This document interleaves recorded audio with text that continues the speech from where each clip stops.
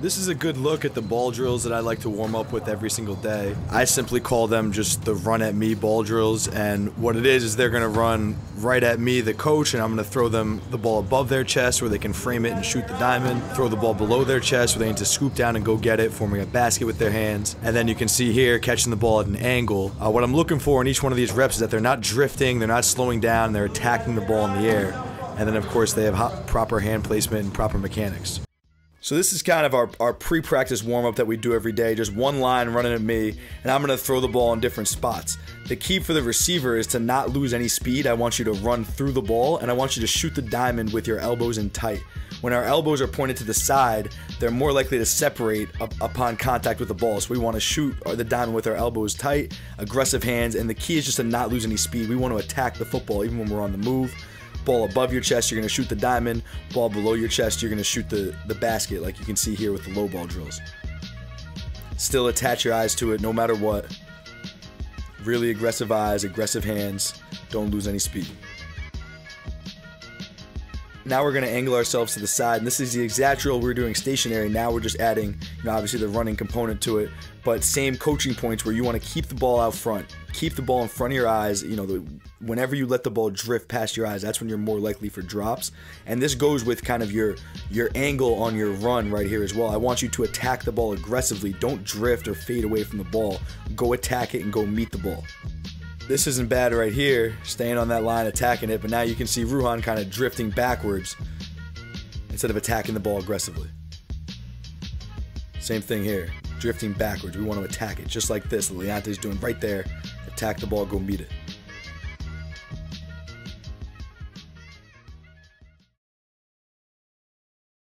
This is my favorite running ball drill. This is called the pullback drill, practicing the art of combat catches and competing for those 50-50 balls. What you want to do is, is jump up and attack the ball. That one was thrown a little hot for them, him there. He's got to go get it. You want to rip the ball out of the air aggressively and torque your body in midair so that you give the defender your back. But you want to go high point the football, attack the ball, and then torque your body in midair so that you give the defender your back just like that. And he has to play through your body to get to the football.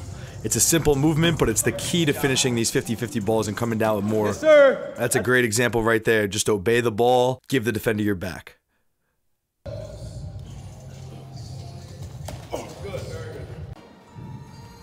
On this one here, you see Juwann doesn't obey the ball, and that ball was thrown kind of back shoulder, so he wants to go with the ball and take the shortest path to giving the defender his back, and he wants to torque his body the other way, and what he doesn't want to do is rip the body through the defender like this, where the defender will have a chance to punch the ball out. He wants to get the ball tucked and give the defender his back as soon as possible. Hey,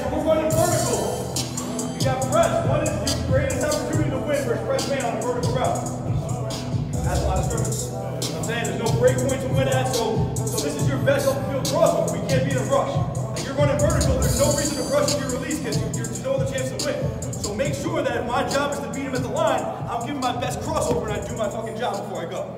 You know what I'm saying? Don't be in a rush, execute your plan. We're working on different press release plans versus press.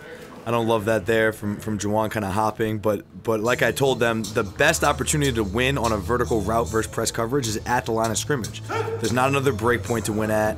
There's not another move to make. You got to win at the line. And, and when I met Davante Adams, one thing that he told me that a coach had always told him is that press releases at the line of scrimmage on a go ball, it's like wiping your own ass. You know, when was the last time you were on the toilet and you rushed, you know, wiping before you were done? It's the same kind of concept. You can't rush it. You got to take your time with it. You got to do it right every single time and execute your plan, and then you can go on with your day or, or go on with the route. Outside short arm, get outside of him right away. I'm aiming one to two yards outside. So if I run out here, now I've captured his leverage. He has to jump outside to cut me off. If he does, he's off balance. I can win inside easily. Okay, or if I get outside him right away and I'm here, now I've won. Now I just got to double inside freeze him and then you win outside.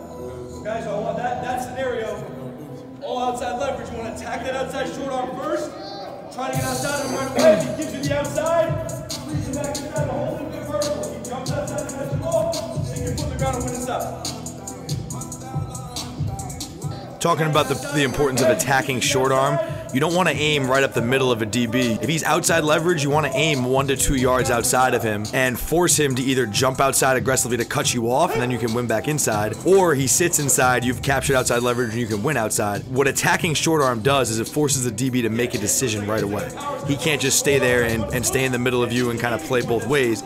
He has to declare his technique right away. Is he going to jump outside to cut you off? Well, then you can be decisive. Is he going to sit inside and give you the outside? Well, then you can be decisive and win outside. But the key is that initial aiming point, which is what I call the short arm, attacking short arm, and making sure that you're getting the DB to move his feet first.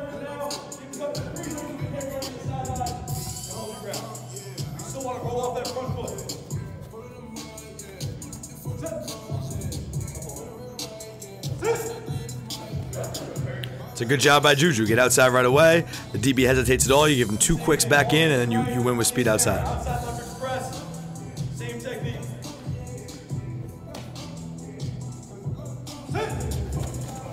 Little false step there by Juwann, but I like his aiming point. Making progress. And now, if the DB gives you space, if he press bails, you want to eat up space right away, chase in your hip. No more dancing at the line of scrimmage. Just get running and eat up space immediately.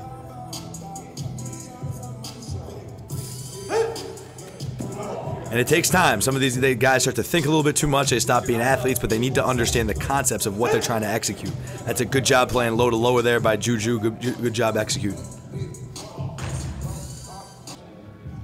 All right, now here's a basic cone drill I like to do to kind of slow everything down and work on the real detailed mechanics of each breakpoint. Uh, I throw them two tennis balls to start and then a football. I love tennis balls because it forces them to, to focus their eyes on a smaller target. And then you catch the football, catch and pierce. So a real good example by Christian Dremel, who will be a freshman next year at Rutgers. I coached him this year at Don Bosco Prep. Really good feet, efficient in the break area, and that's what we're working on, just efficiency in the break area.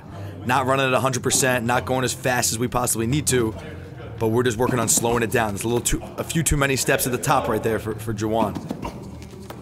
Doing this with the hip shift, you're going drop break, and then you're giving the hip shift. Right? On the drop step, just push off your instep. So you're here, drop break, line.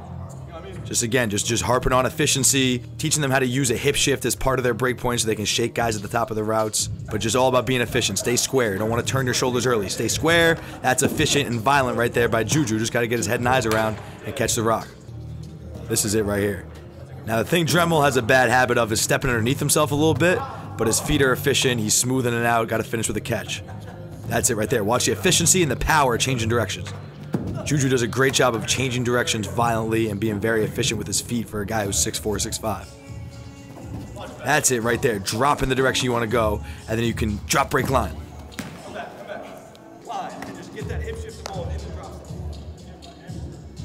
This was early on in the offseason process with Juwann. He's, he's really fixed a lot of these things. I give him a lot of credit. We've done a lot of work on this.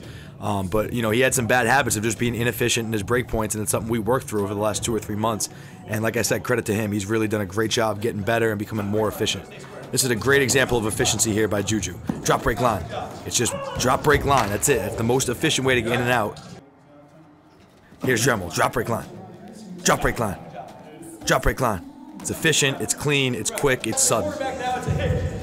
Here, I'm settled. The ball should be on its way right now. Okay, the ball's turning inside or outside. All right, the key is keeping a low pad level. The key is keeping a low pad level. so you can inside drop off. One, talking about running a hitch here. Drop pop on your second inside step. And same conversation we were just having. You want to drop your weight in the direction you want to go. So on a hitch, you're going to turn inside. So push vertical for two revolutions. That means you're you're dropping on your second inside step. All right. When guys who teach the snap down, you can see Juwann has this habit. He's dropping on his outside. He's going drop and then one two gather. In my opinion, that's slightly less efficient than what Juju just did, which is push vertical and drop on your inside step. See, Juwann's dropping on his outside, one, two, gather. Now watch Juju, he's gonna push vertical another half yard, more depth, drop pop. And he's gonna get in and out just a little bit more suddenly, and he's gonna get a little bit more depth. everything's a fade until it's not. That's the key on a hitch route. Self fade, low pad level, make the DB think you're pushing vertical, and then snap down violently. But again, snap down on your inside foot in the direction you want to go. Still dropping on his outside. He'll work through it eventually, and we've gotten a lot better with it. Again, what it does by dropping on your inside is watch Juju get another half yard of depth. I don't need him running back to the quarterback like that. It's another thing we fixed.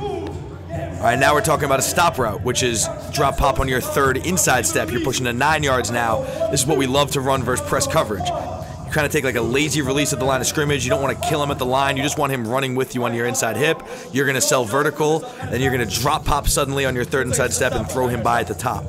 Everything's a fade until it's not. You're selling vertical, selling vertical, then it's a clean, efficient drop pop break point. Should be able to get in and out and, and beat any DB on this if you sell fade.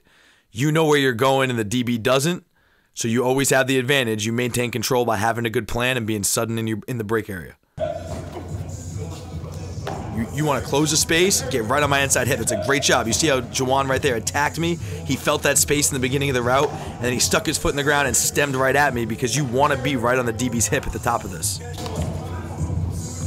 Alright, so listen, two quick coaching points on this. We want to take like a shitty release, okay? Because we want him running with us, so we don't want to kill him at the line of scrimmage. The last thing I want to do is cross him over and leave him all the way here. We're not gonna stop. Now he's in throwing lane. All right, so it's a shitty release. If I'm here and now there's space, if there's space right here, I want to close that space and lean into him. Because the last thing you want at the beginning of that round is space between you and the DB. That just makes it comfortable for him. Yeah, so if Christian go again, go take your two quicks. So if I do this, there's space, you want to lean into me. And that's going to make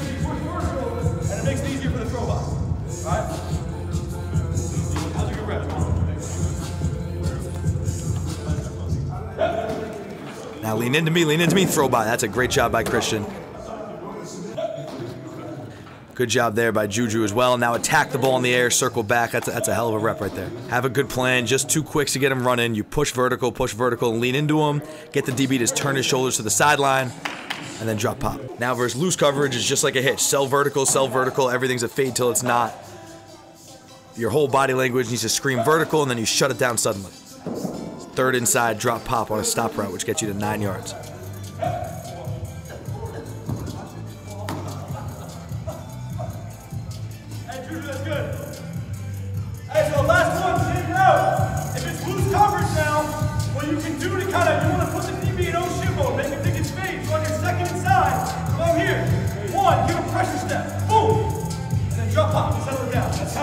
Giving them some different tools to win versus loose man coverage on this. A pressure step at the top on your second inside step, just like you would do if you were going to shave his shoulder and run vertical. That's a really good way to put the DB in what I call oh shit mode, get him chasing, get him off balance, and you can shut it down suddenly.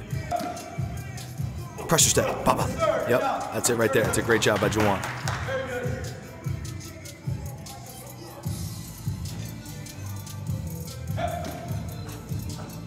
Good job by Christian. He can be a little bit more efficient at the top, but everything he's doing is sudden, really good pressure step to sell vertical, and then shut, shut it down suddenly. Now we're running hitches on the other side. Again, everything's a fade till it's not. Second inside drop pop. Sell vertical, low pad level, sudden break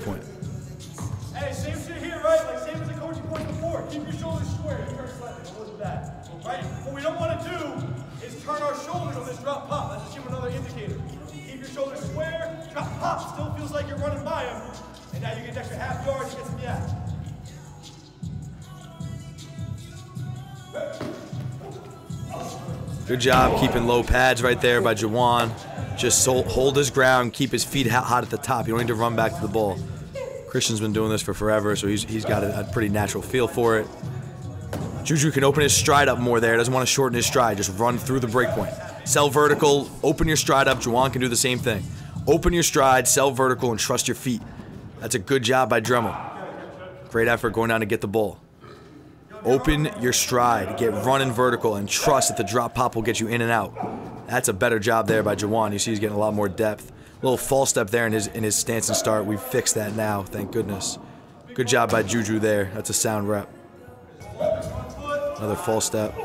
Good job, low pad level. Now he's dropping on his inside. That was a lot better. And again, this was the early stages of the offseason process. This was around Christmas time, right after Juwann's bowl game, right after Juju's last game. So we, we've come a long way since then. Just want to kind of document the process for you guys so you can see the progression over, over the coming weeks.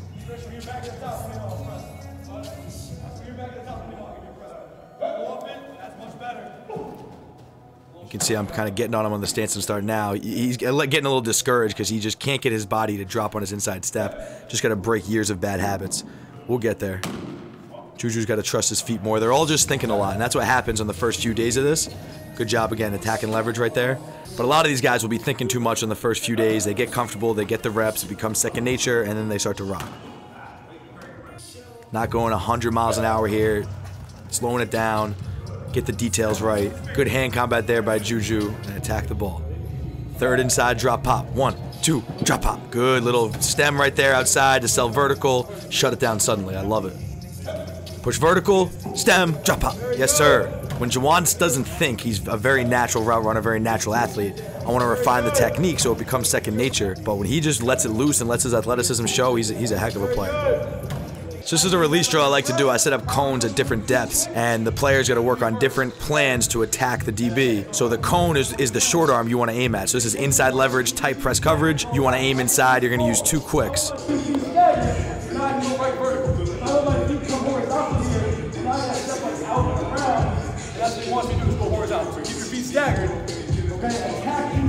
Cone, that's how you're gonna move him. If I just go like this, and he's standing here, I'm not gonna move him, aim at his crotch. I wanna aim inside of him to make him jump inside. Okay, so too quick, boom, So the first rep is two quicks, then the cones are a little bit more spaced out. You can see a false step there by Juwann. Good job on your insteps. You saw that, he was on his insteps. The second one is two full steps. Another false step there by Juwann, but now you're really opening your stride and diving inside. Now it's an outside leverage stretch release. Get outside, two quick steps to, to hold them, and then win back outside. Here's a look at Juju going through it. Dive inside, four quicks, one, two, three, four. Good change of rhythm. Now get outside right away. You win outside, give him two quicks to hold him, and then get vertical. I'll, I'll, I'll explain this to him right now false step is a real big issue with Juwann. It makes me sick looking at it now. I'm so glad we've gotten it fixed. Much better. Much better. The ball's inside of their left now this time around.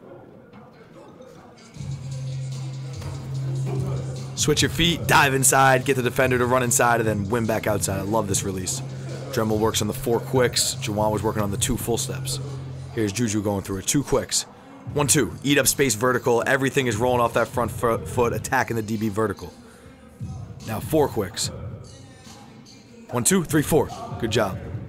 Good job. Feet are staggered, low pad level, in a, in a good, powerful position. Now here's a second round through. They can kind of gotten used to the movements. Now they can perfect it. One, two. Good. Push vertical, attack vertical. Nothing is dancing at the line of scrimmage. You want to gain ground. Good job keeping his feet staggered there by Dremel. That was Juwann using four quicks. One, two, three, four. Feet staggered so that next step can be vertical when you decide to cut off the release. Really good job there by Luke. Feet staggered, attack inside short arm. Good rhythm. Getting used to it there by John. He'll get a lot better as the days go on. One, two, three, four. Good job. Again, they're not going 100 miles an hour. They're getting used to the footwork. They just got to accumulate reps so it becomes second nature. Some of this is unfamiliar. Some of it's a little too unnatural right now. We just want them to be athletes, but but we got to get the reps in so that it, it, can become second nature and they're not thinking about it. Like this, you're gonna freeze me and keep stay outside. If I were to jump, that's what I'm thinking about. Yeah, now, now you give me. Yeah, exactly. What you don't want me to do is keep riding to the side. Like I just said, the reason why when we get outside leverage on the corner, we got to give him two quicks inside is we don't want the corner to just take all his momentum and run us into the sideline. We just want to freeze him there so we have room to win outside. Now balls into your left again. Two quicks. One, two. Feet staggered, gain ground, low to lower. Hey, Christian, hold up. Wait there. Come on, go. I wanted to let you Juwann see Christian do it because Christian's had so many reps at doing it the right way. One, two. Much better job. Eating, verti eating up space vertically. That's going to put the DB on his heels. Four quicks now. One, two, three, four. And, the, and you can switch these quicks up with different rhythm. Use the first two quicks as read steps, assess the DB's reaction, and then two more quicks to get on his toes and be sudden, and then you break. Switch up the rhythm, have some creativity to it. Not bad by Juwann. He took two extra steps, but it, it, four to six quicks is not really that big of a deal. It, what really matters is that you're eating up space, you're getting on the DB's toes, and you're sudden when you break. One, two, three, four. Again, kind of like baby deer legs, learn how to walk, learn how to, how to operate in a different way. It'll come in time. Juwann or Juju move with his front foot first there. You never want to do that. You never want to widen your base that much. Move your back foot first. If you move your top foot first, you're like this. That sucks. You know, so you always gotta move your back foot first. Boom, boom, boom, boom. You know, on your insteps. One, two, three, four. Change up the rhythm on your insteps, feet staggered. One, two, three, four. Yes, sir. And he's getting inside the cone. He's attacking inside short arm. Get the DB to shoot his hands or lunge inside, and then you can win back outside. That's all we've got is to look at the very beginning stages of the WRU offseason and these NFL training sessions with Juwann Winfree and Juju Wingate. Also featured is Christian Dremel, who will be an incoming freshman at Rutgers next year. Really excited to show you guys the progress these players have made, all the hard work they've put in, and some of the new drills that we kind of stack on top of each other to help develop the kids' games. See you next time.